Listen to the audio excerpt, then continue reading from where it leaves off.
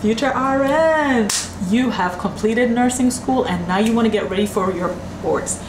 Uh, I want to share with you your top five or my top five picks of things that you do not want to do as you get ready for your NCLEX boards. Stay tuned.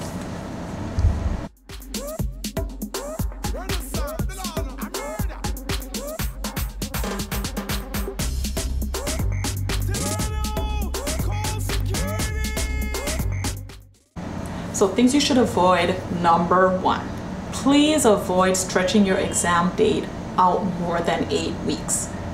So what we're finding is hashtag facts, the longer you take to test after you finish nursing school is the more your potential for passing that first time dwindles. So let's just be clear. This is not the ideal time to, yay, I'm out of nursing school, go on a cruise, come back and prep for boards you have no idea how many things can go wrong on that cruise that is going to stretch out your eight week window. So as far as possible, schedule that exam within eight weeks. You want to be aggressive with your preparation, not impatient, because long-term goals beyond eight weeks tend to have less aggressive actions taken. And this exam, it's a beast. You want to be aggressive. You want to strike while the iron is hot. Try to stay within that eight week window. Number two, Schedule your exam at the time that's best for you. Not the best time for your family, not the best time for the test administrator, the best time that's good for you. You want to show up to that exam as your optimal self, having the best capacity to function in a testing condition. So if you're not a morning person, don't you dare schedule a morning exam. Number three, do not study seven days a week. If that's your MO and it's been working for you, then keep doing that. But if that's never been you, this is not the time to change and start studying seven days a week. Burnout is a real thing. And if you have a good plan in place, then you should schedule it so that you have at least one rest day each week. Number four, don't go on a job interview before your exam. You don't need that kind of pressure.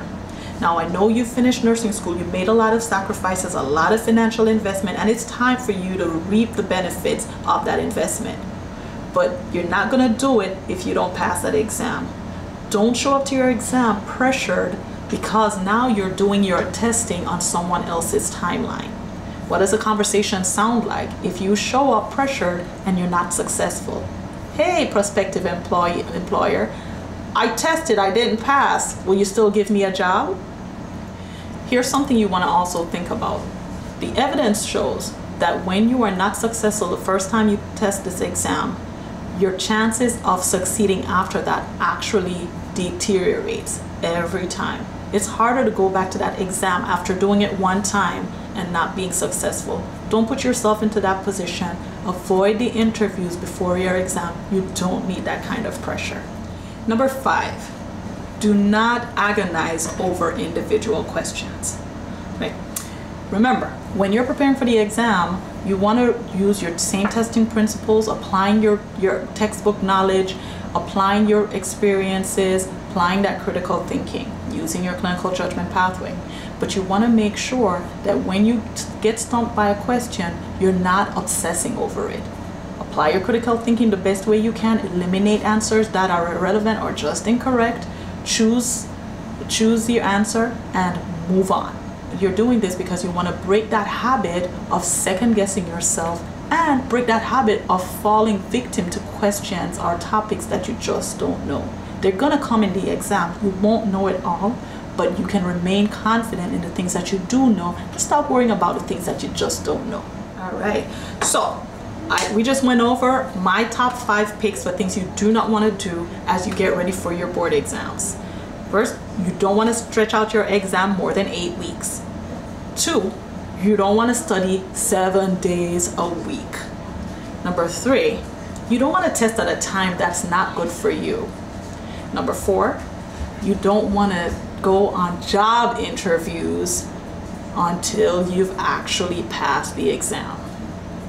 Number five, and last but but definitely not least, do not agonize over individual test questions. Break that habit now.